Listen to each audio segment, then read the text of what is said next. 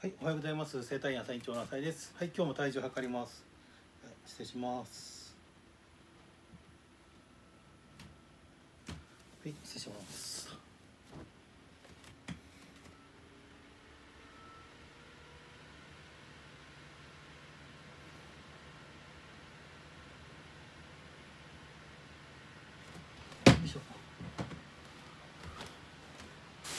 はい、えー今日の体重は、えー、99.8キロでした。BMI30.8、えー、体脂肪は29.6、えー、内臓脂肪は16です。はい、じゃあ体測ります。